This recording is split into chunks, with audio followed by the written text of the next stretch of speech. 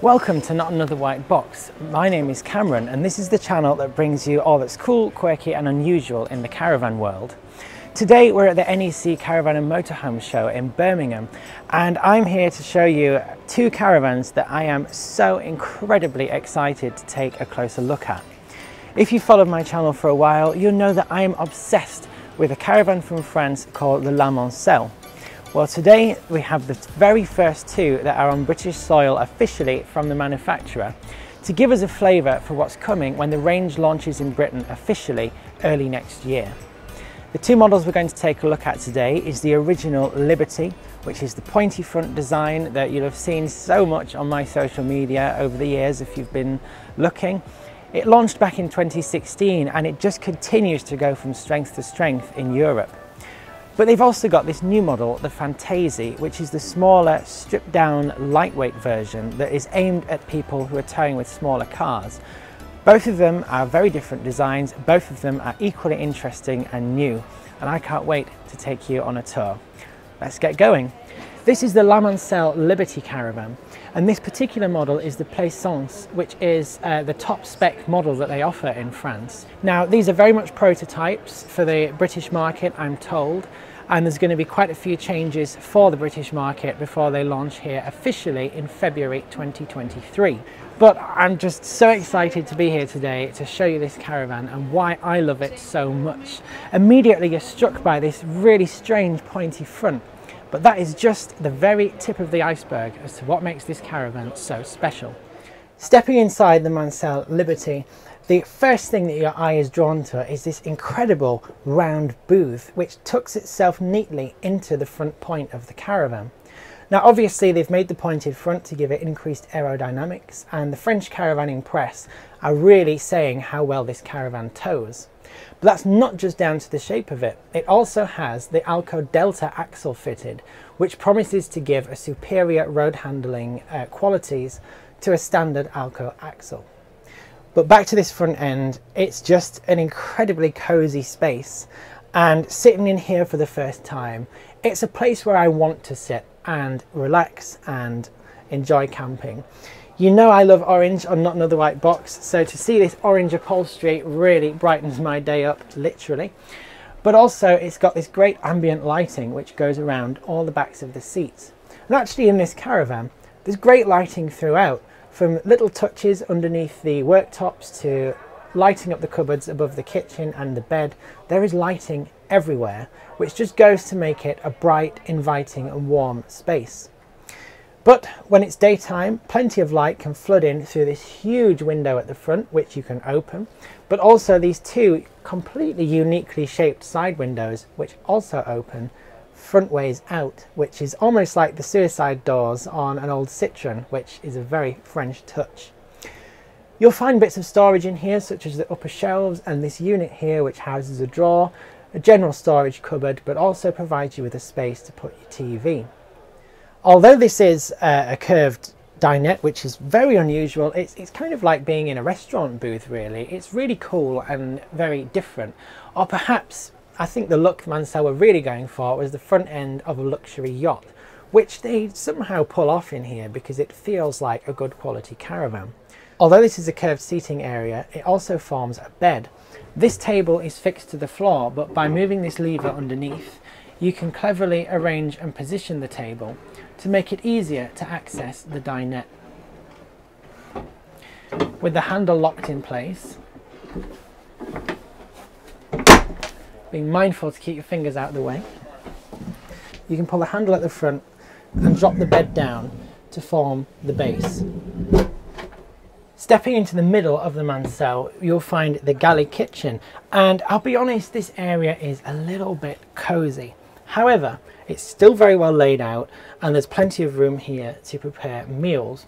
In addition to using the table and the extra workspace uh, behind you, you'll find that the shaped kitchen just allows that little bit of extra space for preparing food. There is tons of storage in this tiny little kitchen. You'll find pull-out drawers, which of course are soft shut for a nice quality touch, and even things like this sliding rack, which just make accessing what's in them a lot easier. And would it be French if it didn't have a wine holder built in? And here is specifically listed as the place to keep your bottles of wine. Unusually for a caravan, but not too uncommon on the continent, you'll find an extractor fan and hood here, which provides illumination for cooking, but also takes any cooking smells outside. Just behind the kitchen, you'll find this absolutely enormous Thetford fridge, which really takes up a lot of space in the kitchen. But there's plenty in here, uh, plenty of room in here to put everything that you would need for a weekend away. Opposite the kitchen is the washroom. Now it's got this rather charming shutter door on it, which opens to reveal quite a large space actually. There is ample room in here for a shower, and the nice thing about it is it has curved walls, which just help to minimize the impact on the space that this washroom has. In here you'll find a toilet, you'll find an outlet for the blown air heating to keep the space warm. You'll find some nice quality cabinetry, but the best thing of all is this sliding partition, which pulls over to reveal the shower to give you enough space to have a shower without wetting everything that is around the toilet area, which has long been the drawback of an all-in-one wet room. Now this design detail from Mancelle really comes from the motorhome world and I'm yet to see it in a caravan until now. So again, plus points to Mancelle for being ahead of the curve with a really useful and interesting design feature. Back here in the bedroom you'll find a rather large wardrobe for storing um, hanging goods but also a cupboard underneath. But in addition to that there is a wardrobe either side of the rear bed which has shelving and storage which is accessible from the front or the side.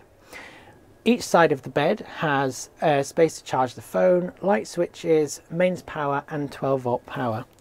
But I have to say, as fixed beds in caravans go, this bed is huge.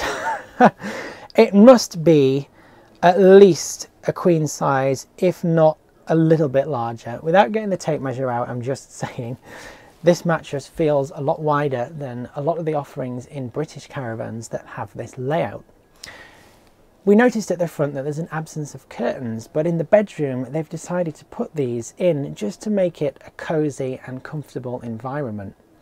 There is a curtain either side of the entranceway to the bedroom so you can have a little bit more privacy back here if you wish. But the bed is really high up and you might be wondering why. And that's because without the bed being right up in the rafters like you get in a motorhome, there is an externally accessed locker as well as under bed storage that allows you a huge space under here to put a lot of your camping gear. But to not waste the space any further, Mancelle have even added this unusual little drawer at the front, which I've just never seen anything like it before it makes a good use of the space. My only criticism about this bedroom is it would be nice if you could fold the bed back slightly like you can in some of the British vans. But to be honest, the trade-off here is you've got a one-piece mattress with a bed that you don't have to keep remaking every time you pull it out or push it back. And to be honest, although it's a little bit tight squeezing around these sides of the beds, it's still accessible and for the size of the van this van is not very long at all it's a fairly short single axle caravan that makes it easy to tow and easy to pitch and easy to store. But they've really worked wonders with how they've played about with the space in here to just make it feel so much bigger than it actually is. Stepping outside of the La Mancelle Liberty Plaisance it's such an unusual and striking design, but that is not all there is to it, for it's not actually constructed out of aluminium, but instead of polyester. Now this is a material that's very popular on the continent, and it means that they can keep the weight down and keep the strength up, but also make it more durable and resistant to damage, knocks and dents from awning poles, etc. It means it's got a slightly unusual finish when you stroke it. It's not as cold as aluminium. And I've just realized there how odd that sounds to go around stroking the sides of caravans. I don't advocate that you start doing that now. At the back end here, we've got this large access locker, which we mentioned inside goes under the double bed. But the final touch, which you can't see very well here, unfortunately, is the curved rear panel, which again just adds to the style interest of the Mancelle caravan. But really the focus has to be the front end at the point, which I'm just going to take you to show now.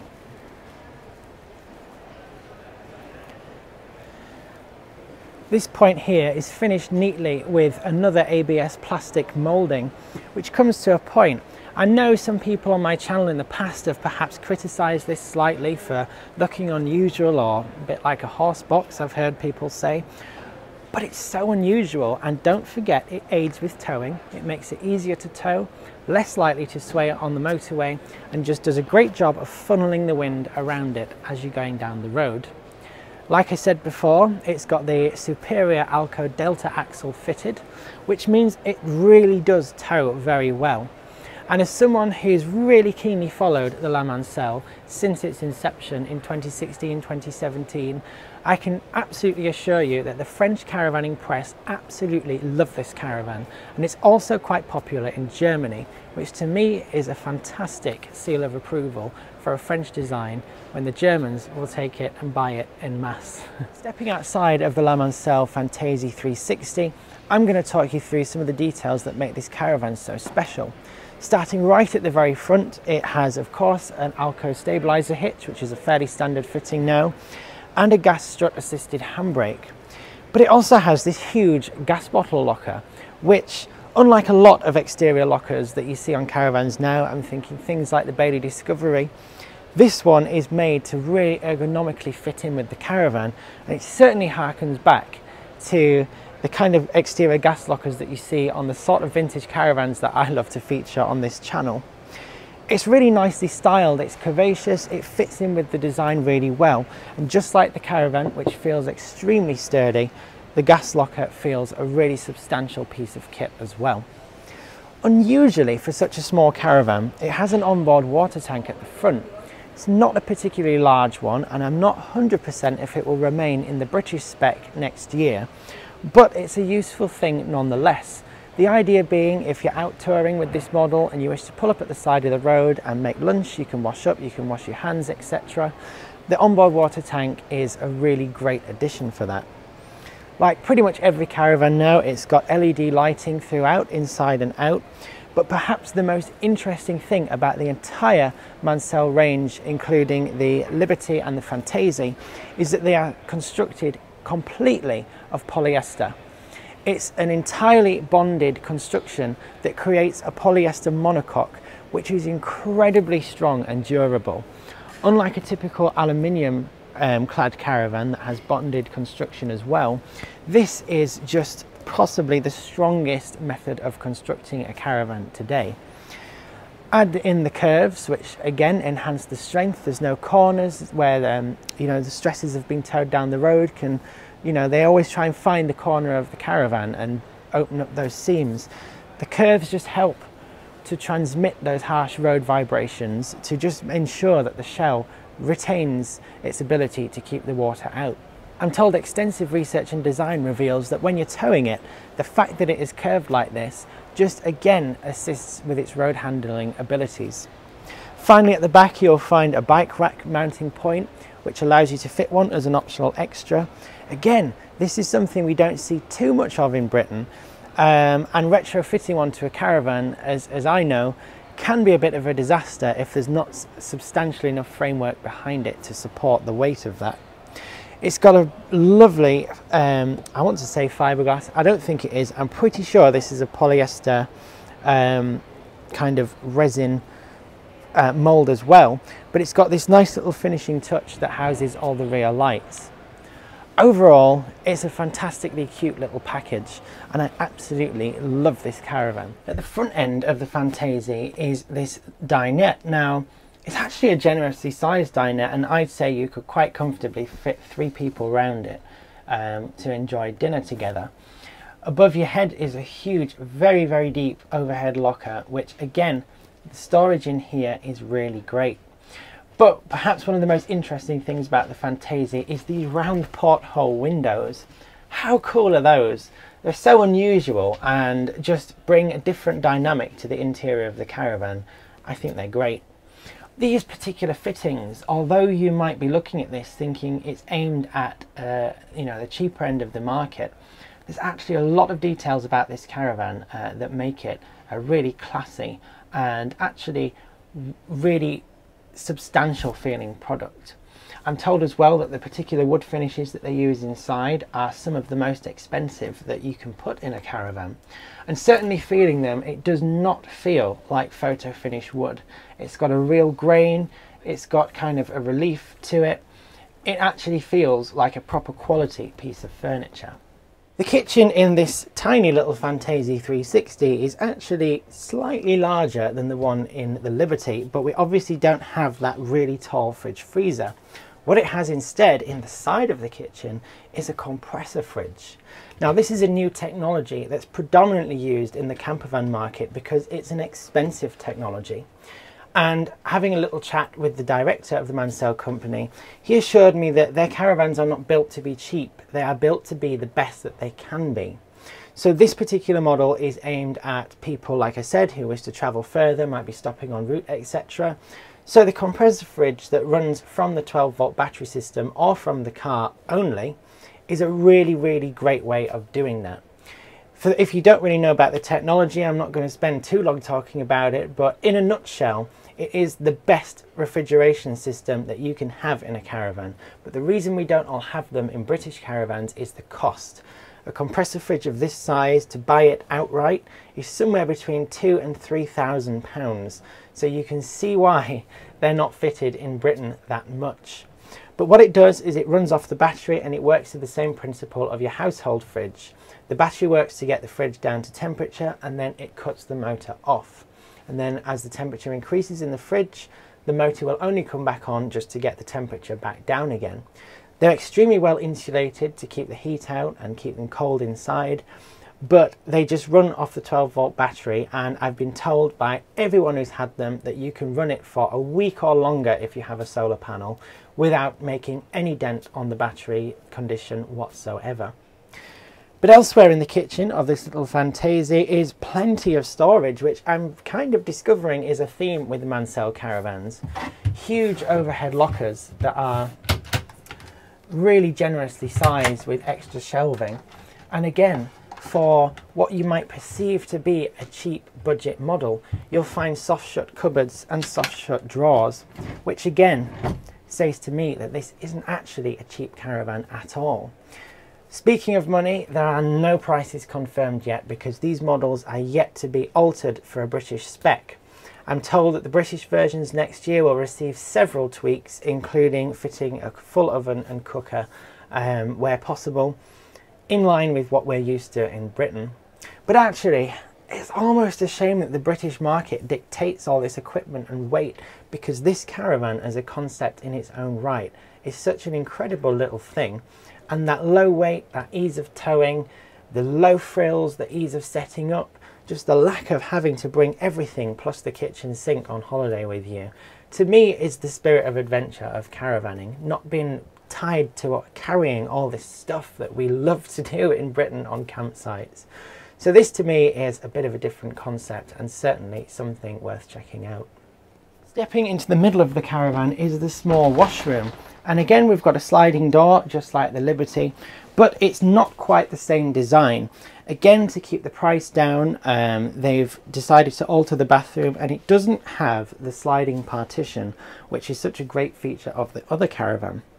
But that's not to say that there isn't something in here that's quite unusual again. To free up more space in the shower, which to be honest for a wet room of this size is already a fairly generous space, you can actually completely remove the bathroom sink to create a little bit more extra space for using the shower. I have to admit, out of all the caravans that I've ever seen, I've never seen that before. Finally, at the back end of the Fantaisy 360 is this fixed double bed. Now the first thing that strikes me is the size of it. It's slightly bigger than a standard double, which is not quite what I expect to find in a caravan that's as small as this.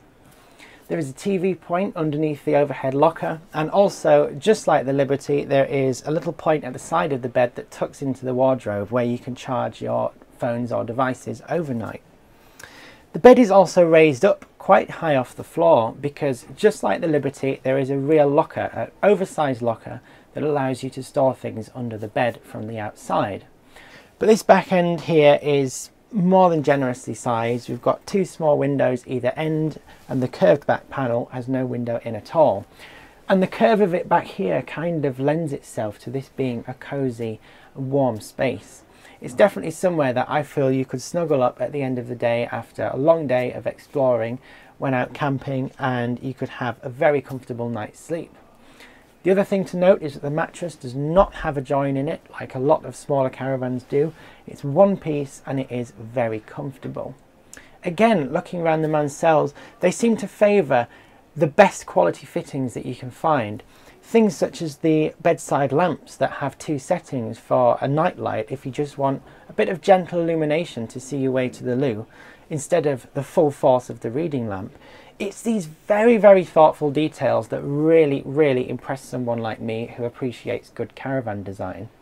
And the, de the design details in here, as they say, the devil is in the detail. There are so many things about these caravans to love.